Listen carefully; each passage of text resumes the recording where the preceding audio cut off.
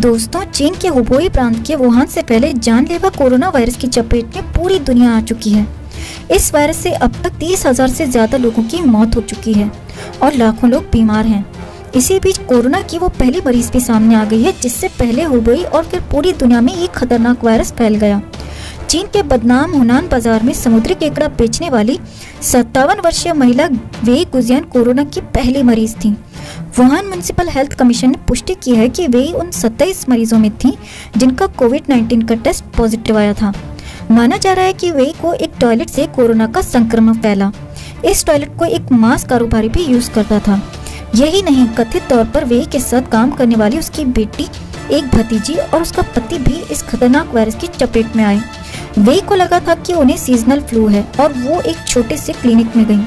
उन्हें इंजेक्शन लगाया गया, लेकिन राहत नहीं मिली। वो मार्केट में सामान बेचती रहीं। पाँच दिनों के बाद हालत खराब होने पर वो वुहान के ही एक बड़े अस्पताल में गईं। कोरोना के संक्रमण के बाद वुहान के इस सी फ़ूड मार्केट को अनिश्चित काल के लिए बंद कर दिया गया। वे ने बताया कि अगर चीन सरकार तुरंत कार्रवाई करती तो कोरोना वायरस को फैलने से रोक सकती थी। वे को कोरोना का पेशेंट ज़ीरो माना जा रहा है। हालाँकि अभी इसको लेकर स्पष्टता नहीं है कि क्या वे ही कोरोना के पहले मरीज़ है।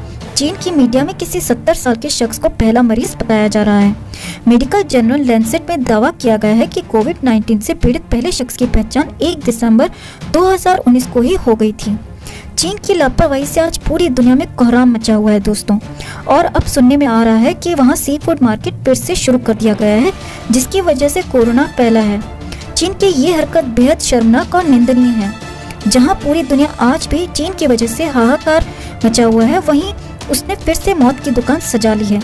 अगर आप भी हमारी बात से सहमत हैं दोस्तों तो इस खबर को एक लाइक ज़रूर दें। साथ ही कमेंट कर अपनी राय भी शेयर करें। हमारे साथ बने रहने के लिए आप सभी का तहे दिल से धन्यवाद, क्योंकि आप हैं तो हम हैं। Yeah.